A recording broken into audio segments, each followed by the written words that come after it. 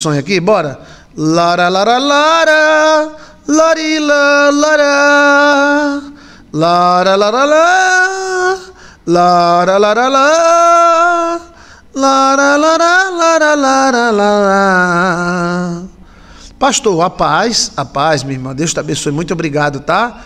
Uma amiga minha sonhou comigo, certo?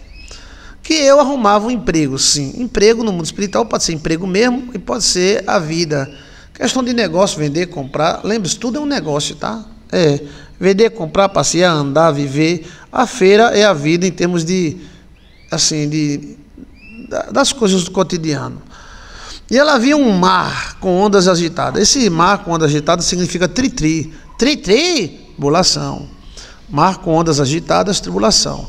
Mas depois acalmava. Então, é, no sonho, há uma possibilidade de haver uma agitação, possivelmente financeira problema financeiro muito grande.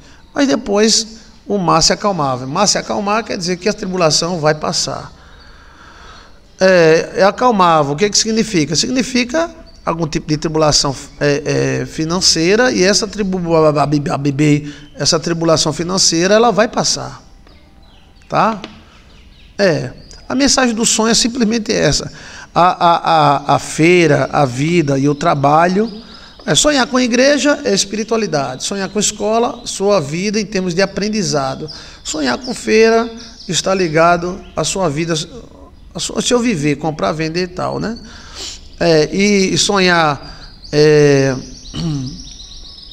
com emprego trata-se da sua função no mundo, né? O emprego está ligado a, ao comprar, ao vender, ao fazer, né? A sua função no mundo. E aí surgiam grandes ondas no mar. O mar é a sua vida. Essa, as ondas eram horríveis, então é uma tribulação, possivelmente financeira. Mas depois as ondas se acalmavam. Então, quer dizer que a tribulação poderá vir, mas vai se acalmar. Vamos orar para esse mar não subir, né? Amém? Então, é esta a interpretação dos sonhos. Se tiver mais detalhes, pode contar aí, tá?